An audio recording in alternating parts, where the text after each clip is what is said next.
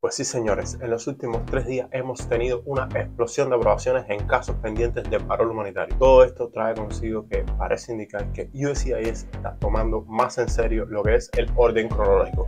Tal vez no de la manera que nosotros quisiéramos, pero sí se está enfocando grandemente en los casos que más tiempo llevan esperando en la aplicación. Si te interesa este tema, como siempre digo, suscríbete al canal, activa la campanita y quédate viendo este video hasta el final. Comencemos.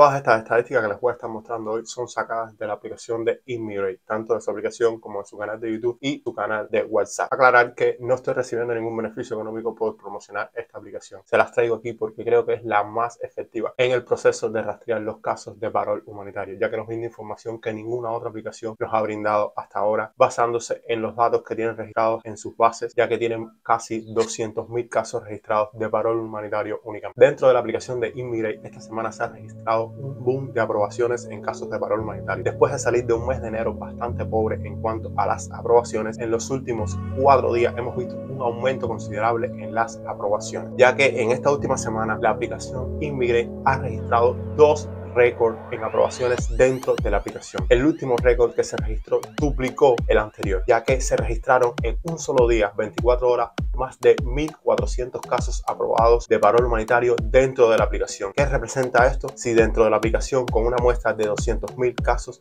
se registraron 1.400 aprobaciones, quiere decir que el global es mucho mayor. Y teniendo en cuenta que el promedio de aprobaciones diarios sería de 1.000 por día para completar las 30.000 aprobaciones mensuales, esto es un registro bastante considerable y nos hace pensar que USCIS está apresurando las aprobaciones y priorizando sobre todo los casos más atrasados, que serían los de enero. Esto trae como conclusión también que se está llevando a cabo un orden cronológico. Tal vez no como todos los conocemos por día, ya que sé que aún quedan personas del día anterior al 11 de enero, que es el que más se está priorizando actualmente, pero sí tenemos en cuenta que se está llevando a cabo un proceso de orden por meses. Y aquí les traigo algunas de las estadísticas sacadas de la aplicación de Immigrate para que vean el aumento considerable que ha habido en los últimos meses. Aquí les traigo estos datos de los últimos días que brinda la aplicación Immigrate dentro de su módulo de análisis plus. Si no tienes acceso a esta aplicación aún, te invito a que la descargues. Está disponible tanto en la Play Store como la tienda de aplicaciones de Apple. Puedes descargarla y tener acceso a estos datos. Como puedes ver aquí, ha habido un aumento en los últimos días de la aprobación. Significativamente en el día 11 de enero que se está priorizando. Se están dando muchísimas aprobaciones del 11 de enero y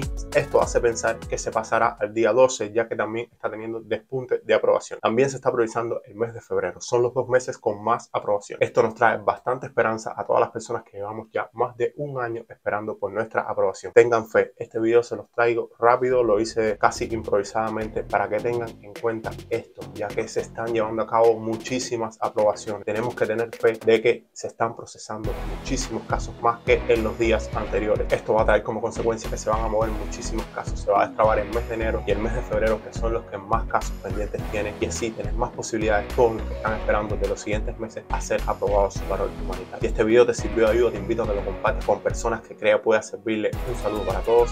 Chao.